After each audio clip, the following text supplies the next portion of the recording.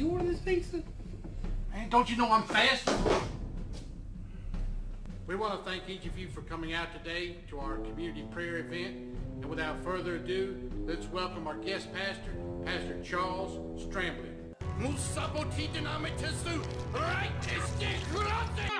He just bringing me a cheeseburger. I don't give a fuck. Well, I can have people over here if I want to. It's my house too, you know. So you got.